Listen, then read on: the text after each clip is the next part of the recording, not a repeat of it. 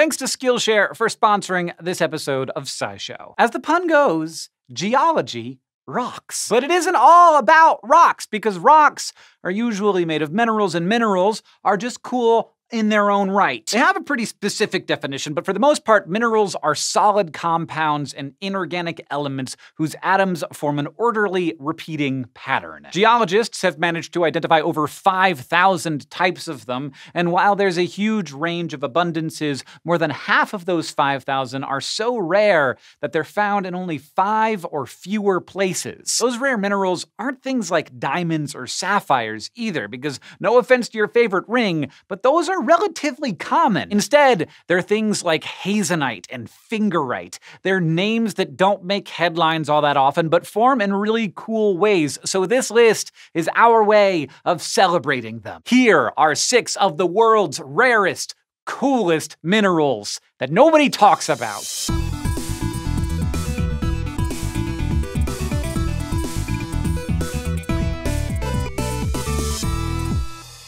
Okay, I know I mentioned this in the intro, but let's get this out of the way. Despite advertising and pricing to the contrary, diamonds aren't rare, like at all. In industry, they're used all the time for their hardness, and even the fancy gem quality ones aren't that uncommon. Instead, their rarity is often manufactured by corporations. That being said, not all diamond gems are equal. They can come in different colors, and some of those colors actually are really rare in nature. Like you might be familiar with the Hope Diamond at the Smithsonian, or that massive blue rock the old lady dropped into the ocean at the end of Titanic, and blue diamonds diamonds are rare, but the really special ones are the red diamonds. Most colored diamonds owe their hue to some kind of chemical impurity in their carbon lattice, but in some cases, a diamond's structure gets deformed under high pressure and the atoms shift around a little bit. That makes some layers of the lattice reflect pink light, and if you get enough of them in a deep enough color, the diamond will come out red. Or at least that's the leading hypothesis. Scientists still don't fully understand how it works, and there is a chance that it might have something to do with a nitrogen impurity. Either way, these diamonds are really rare, and we've only found them at a couple of sites in the world. Right now, the main mine is in Australia. It supplies 90% of our pink diamonds, and a tiny fraction of those earn a red classification from the Gemological Institute of America. The mine sold their first proper red, or technically their so-called fancy red, in 1999, and as of today, only about 30 small red diamonds have ever been found. If you've ever browsed through the Tiffany and Company website, you might have seen a gemstone called tanzanite. It's sometimes advertised as being a thousand times more rare than diamonds. Back in the 1960s, Tiffany's became the first company to sell this stone, but tanzanite isn't its real name. Instead, it's called blue zoisite. Now, the mineral zoisite isn't that rare by itself, but the blue variety is. Its color comes from a vanadium impurity. In other words, vanadium atoms got mixed into its crystal structure. And the world's only source for it is a mining area in the Merelani Hills in Tanzania. It's so rare that industry experts estimate the supply will actually run out in a few decades. This supply of tanzanite formed roughly 585 million years ago due to tectonic activity that would ultimately create Africa's most famous mountain, Mount Kilimanjaro. Basically, the rocks within each tectonic plate smushed into one another, and under all that heat and pressure, they melted, transformed, and grew new crystals.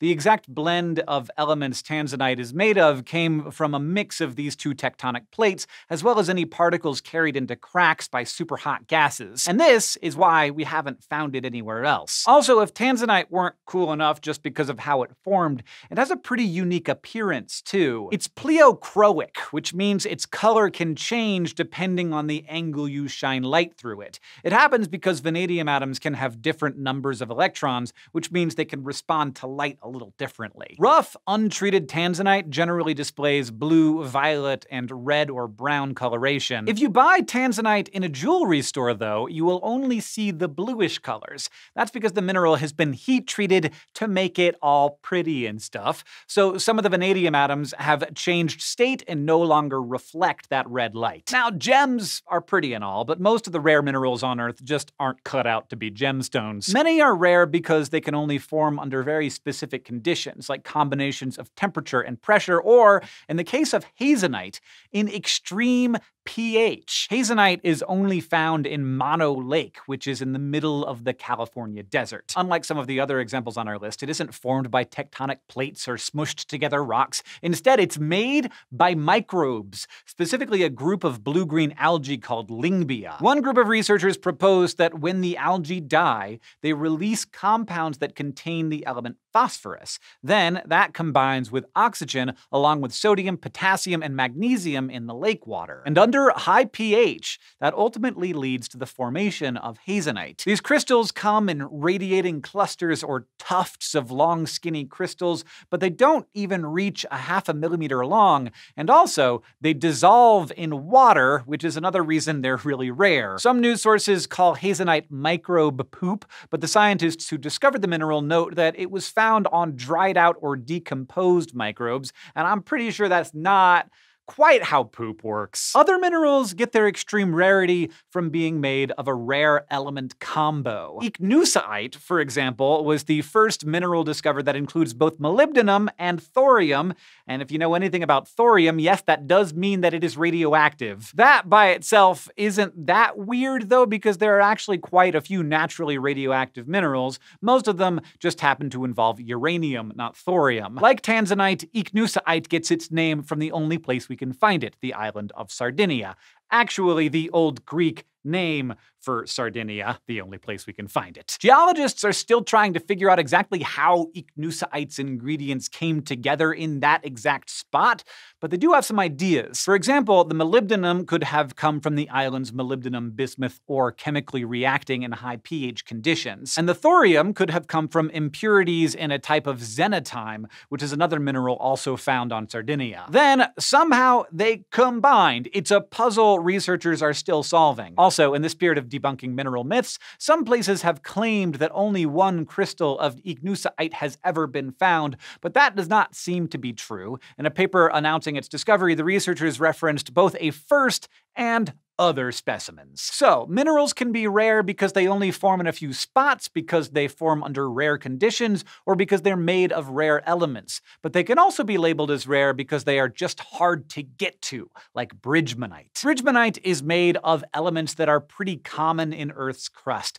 magnesium, iron, silicon, and oxygen. And they're in a ratio that isn't too rare either. But one specific arrangement of these atoms was hypothesized to only exist deep within the Earth's mantle, where a similar compound breaks down in high pressure and temperature conditions. Down there, it is not found in small quantities either. Estimates suggest it makes up 38% of the Earth's entire volume. Unfortunately, studies that attempted to find it usually ended in failure because under relatively ambient conditions, the crystal structure tends to rearrange itself into a random, patternless glass. But in 2014, we finally found some, just instead of inside the Earth, it was at the site of a meteorite impact. When the space rock struck the Earth, it created huge amounts of pressure and raised the area's temperature to roughly 2,000 degrees Celsius, exactly the conditions needed to make this mineral. As a bonus, the sample was also encased inside layers of other minerals that kept it under enough pressure to eventually study, although we are still waiting to hear any new results. Over the course of this episode, we've talked about all kinds of things that can make minerals rare, from the elements they're made out of to the conditions they form under. And if you've been wondering if any mineral checks all four boxes, the answer is yes. Some minerals are the height of rarity, and one of them is fingerite, which all things considered, could probably use a more impressive name. Fingerite has only ever been seen near the summit of the Izalco volcano in El Salvador. It's found in fumaroles, or cracks in the Earth's surface from which steam and volcanic gases escape, and it forms when those volcanic gases sublimate or turn directly into a solid and chemically bond with one another at just the right temperature and at just the right ratio. The important elements here are vanadium and copper if the ratio of these two is off by just a little bit, something other than fingerite forms. And to make things more complicated, it also needs to be at temperatures between 100 and 200 degrees Celsius. But sometimes it happens, and you get these tiny, opaque black crystals. Yeah, despite the name, fingerite doesn't look too much like fingers. It was just named after a guy whose last name happened to be Finger. Either way, this stuff is really rare, and back in the 1980s, scientists had ever only found a few milligrams of this stuff. Some of it is because of the specific conditions it forms under, and also because nobody wants to climb around on an active volcano. But fingerite also dissolves in water, so anytime it rains, there goes your sample. With as hard as these minerals can be to find, it seems kind of weird that scientists would devote so much time to searching for them. Like, some of them aren't even that aesthetically pleasing, and you're not gonna make a ring out of fingerite because if you get your hands wet, it'll just dissolve. But there is a good reason for it. Minerals like these